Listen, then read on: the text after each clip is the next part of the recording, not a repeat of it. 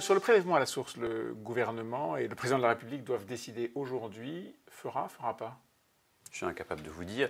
Ce que je peux vous dire, c'est que ce n'est pas une bonne réforme pour les Français. Pourquoi? Parce qu'elle vise à complexifier leur vie quotidienne. C'est exactement l'inverse de l'argument de Gérald Darmanin. Il dit tout le temps, il bastonne simplification, simplification, simplification. C'est ça? Mais quand le contribuable revient à, euh, faire des avances à l'État et lorsque les entreprises doivent faire le travail de Bercy, vous avouerez que pour les ménages comme pour les entreprises, ce n'est pas une bonne réforme.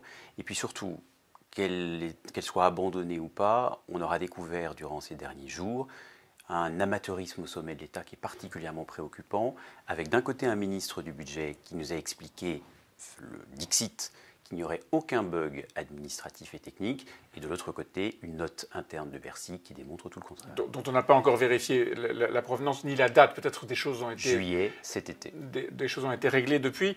Euh, mauvaise réforme, dites-vous, donc il faut l'abandonner? Je crois, oui. Je crois qu'il faut l'abandonner et qu'il faut surtout donner la priorité à de véritables réformes de structure sur le fond. Il y a des réformes qui ne sont pas aujourd'hui mises en œuvre et on voit bien qu'Emmanuel Macron ne fait pas preuve du courage politique qu'il avait pourtant affiché il y a quelques mois encore et qui sont des réformes qui visent à baisser la dépense publique puisque en réalité c'est en baissant la dépense publique que l'on pourra se reconstituer des marges de manœuvre et faire augmenter la croissance.